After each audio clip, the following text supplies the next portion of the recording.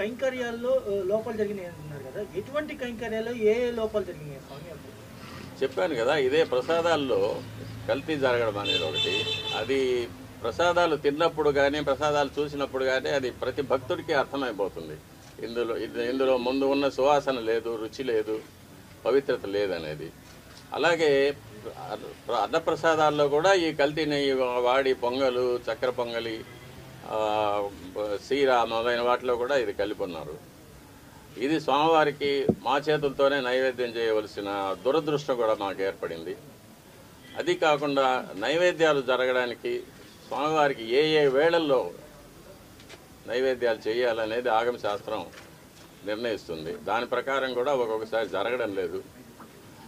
నైవేద్యం చేయవలసిన సమయాన్ని కూడా కుంచించి పది నిమిషాల్లో అయిపోవాలి పదహైదు నిమిషాల్లో అయిపోవాలి అనేది అర్చకుల మీద ఒక ప్రెషర్ పెట్టడం త్వరగా ముగించమని చెప్పి వాళ్ళను తరమడం ఇవన్నీ కూడా జరుగుతూ ఉన్నాయి. ఇవన్నీ కూడా స్వా- స్వామివారికి జరిగే అపచారాల కిందకే వస్తాయి.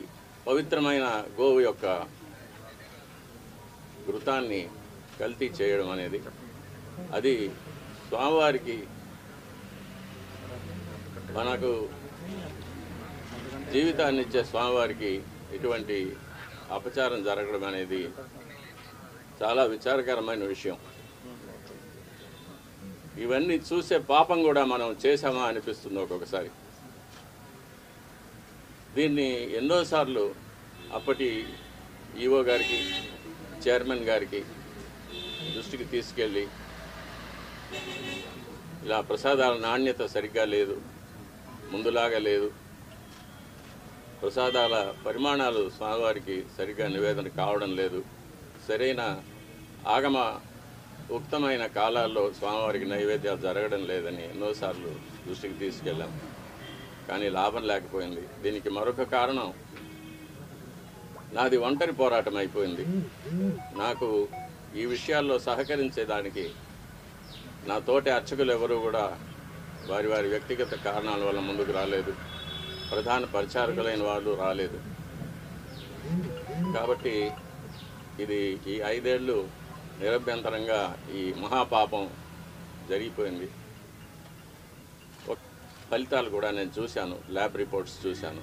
ఇందులో కూడా వెజిటబుల్ ఫ్యాటు అనిమల్ ఫ్యాటు జంతువుల యొక్క కొవ్వు పదార్థం స్థావరాల యొక్క జంగమాల యొక్క కొవ్వు పదార్థాలు కలిసినట్టుగా ల్యాబ్ రిపోర్ట్ను చూశాను. పరిశుద్ధమైన ఆవు పాలతో తయారు చేసిన నెయ్యిలో అది స్థావరమైనా కానీ జంగమమైనా కానీ కొవ్వు పదార్థాలు కలవడానికి వీలు లేదు. అది ఇంప్యూరిటీస్ కింద లెక్క వస్తుంది. అభ్యంతరాలు ఎవరు పట్టించుకోలేదు స్వామి? ఎన్నోసార్లు ఇది దృష్టికి తీసుకువచ్చాను ఈఓ గారి దృష్టికి చైర్మన్ గారి దృష్టికి. కానీ ఎవరు దీన్ని పట్టించుకోలేదు.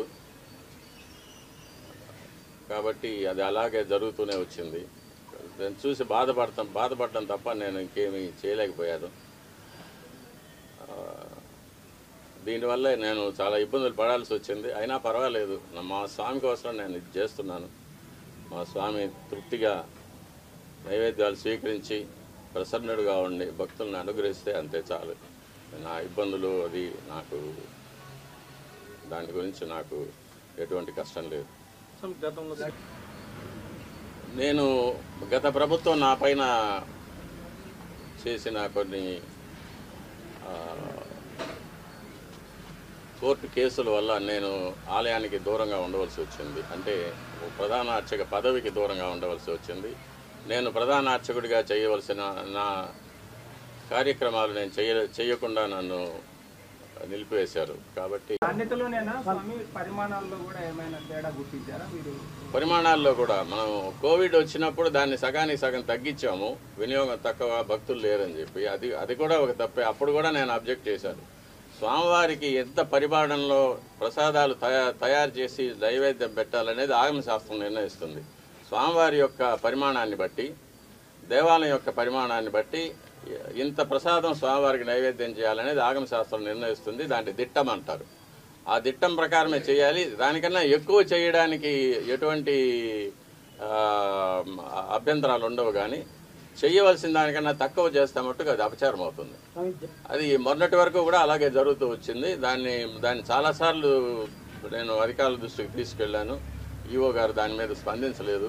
అది అలాగే జరుగుతూనే ఉండింది ఇప్పుడు ప్రభుత్వం స్పందించి స్వామివారికి ప్రసాదాలు అనేకంగా తయారు చేసి నాకు తెలిసినంత వరకు మేము కైంకర్యం చేసేటప్పుడు గరుడ సేవ నాడు బంగారు వాకిలి వరకు సుమారుగా ఒక వంద గంగాళాల ప్రసాదం నైవేద్యం పెట్టేవాళ్ళం.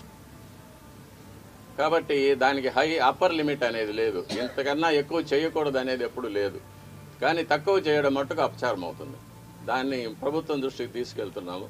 అది స్వా దిట్టం ప్రకారం స్వామివారికి ఏ ఏ వేళల్లో ఎంత ప్రసాదం నైవేద్యం చేయాలనేది దాన్ని తయారు చేసి శుచిగా శుభ్రంగా తాజాగా తయారు చేసి స్వామివారికి నైవేద్యం పెడితే స్వామి ఎప్పుడు ప్రసన్నురా ప్రసన్నుడు అవుతారో అప్పుడు భక్తులకు అందరికీ కూడా మంచి జరుగుతుంది. రాష్ట్రము దేశం సుభిక్షంగా ఉంటుంది.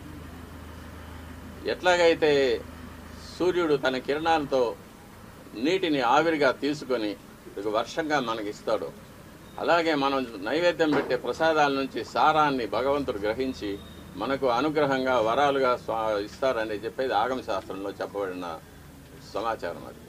కాబట్టి మనం పూర్తి నమ్మకంతో భగవంతుడు అక్కడ ఏం చేసి ఉన్నారు ఆయనకు మనం భక్తితో నైవేద్యం పెడుతున్నాము ఇది మన అదృష్టమని తలుచుకుంటూ స్వామివారికి మనం నైవేద్యం పెట్టినప్పుడు స్వామివారు తప్పకుండా స్వీకరిస్తారు. స్వామివారు ఎప్పుడు ప్రసన్నమవుతారో మనకందరికీ కూడా మంచి జరుగుతుంది. రాష్ట్రం సుభిక్షంగా ఉంటుంది. ఇటువంటి అవాంతరాలు అతివృష్టి అనావృష్టి కరువు కాటకాలు యుద్ధ భయం చోర భయం రో- రోగ భయం ఇవన్నీ లేకుండా దేశం క్షేమంగా ఉంటుంది. రాష్ట్రంలో కొత్త ప్రభుత్వం ఏర్పడి వంద రోజులైంది. ఈ వంద రోజులు అయి ప్రభుత్వ పరిపాలన ప్రారంభం కాగానే పెద్ద ఉపద్రవం వచ్చింది. కృష్ణానదికి గొప్ప వరదలు రావడం ఆ వరదల్లో ఎన్నో వేల కుటుంబాలు నిర్వాసితులు కావడం ప్రజలు అన్నవస్త్రాలకి అలమటించడం లాంటివి కూడా సంభవించాయి. అటువంటి విపత్కర సమయంలో రాష్ట్ర ముఖ్యమంత్రి గౌరవనీయులు శ్రీ నారా చంద్రబాబు నాయుడు గారు జేసీబీ ఎక్కి పడవలో ప్రయాణం చేస్తూ బురద నీటిలో నడుస్తూ ప్రజలందరికీ కూడా ధైర్యాన్ని కల్పించి నేనున్నాను బెంగ పెట్టుకోవద్దు అని చెప్పి వాళ్ళల్లో ఒక స్థైర్యాన్ని నెలకొల్పారు. అలాగే మంత్రులు అధికారులు అనధికారులు అందరూ కూడా ఆ కష్టంలో ఉన్న ప్రజలందరినీ ఆదుకోవాలి అని గొప్ప ఆర్తిని చూపించారు. ఈ సందర్భంగా ప్రత్యేకించి ప్రస్తావించవలసిన వారు పారిశుధ్య సిబ్బంది. అనేక పురపాలక సంఘాలలో పనిచేస్తున్న వారందరూ కూడా విజయవాడ పట్టణానికి చేరుకుని అక్కడ అంటువ్యాధులు ప్రబలకుండా ఉండడం కోసం బ్లీచింగ్ చల్లడం లాంటి కార్యక్రమాలు నిర్వహించడంతో పాటుగా మంచినీటి సౌకర్యం ఏర్పాటు చేయడం నిత్యావసర వస్తువులు అందచేయడం ఇవన్నీ కూడా యుద్ధ ప్రాతిపదికన చేశారు. స్వచ్ఛంద సంస్థలకి సంబంధించినటువంటి అనేక మంది సభ్యులు ప్రజలు వ్యాపార సంస్థలు విద్యా సంస్థలు ఇతోధికంగా విరాళాలను ప్రకటించాయి. నిజంగా ఇటువంటి కష్ట సమయంలో అందరూ ఏకోన్ముఖులై నడవడం అటువంటి సమైక్యతాభావం చూపించడం చాలా చాలా గొప్ప విషయం. భాగవతంలో పోతన గారు ఒక మాట అంటారు పరహితము చెయ్యునెవ్వడు పరమహితుండగును భూత పంచకమునకు పరహితమే పరమధర్మము పరహితునకు నెదురు లేదు పర్వేందుముఖి అంటారు. పరుల యొక్క హితం కోసం ప్రవర్తించే వాళ్ళు ఎవరుంటారో వాళ్ళకి పంచభూతాలు కూడా సహకరిస్తాయి. ఇటువంటి కష్టకాలం వచ్చినప్పుడు ప్రజలందరూ కూడా ఒకే త్రాటి మీద నిలబడడం అంత గొప్ప సమైక్యత భావంతో కష్టంలో ఉన్న వాళ్ళందరినీ ఆదుకోవాలని ప్రయత్నించడం చాలా చాలా గొప్ప విషయం. రవీంద్రనాథ్ ఠాగూర్ చెప్పినట్టు where the mind is without fear and the head is held high where the world has not been broken up into fragments by narrow domestic walls అని స్త్రీ పురుష పండిత పామర కుల మత వర్ణ వర్గ ధనిక పేద విచక్షణ లేకుండా అందరూ ఒక్కటిగా నిలబడి ఆ ఆపదని ఎదుర్కొన్నటువంటి విషయం నిజంగా ఎంతో స్ఫూర్తిదాయకం. రాబోయే కాలంలో కూడా సుపరిపాలన ప్రభుత్వం అందించడానికి ప్రజలందరూ సమైక్యంగా ఉండి ప్రగతి బాటలో నడవడానికి కావలసినటువంటి మంచి బుద్ధి వైభవాన్ని పొందడానికి భగవంతుడు తన ఆశీర్వచనాన్ని అందించాలని ఈ రాష్ట్రం బాగా వృద్ధిలోకి రావడానికి అది కారణం కావాలని నేను భగవంతుణ్ణి ప్రార్థన చేస్తూ నిజంగా ఈ కష్టకాలంలో అంత గొప్పగా నిలబడిన అందరికీ నా హృదయపూర్వక నమస్కారాలు తెలియచేస్తూ సెలవు తీసుకుంటున్నాను. స్వస్తి.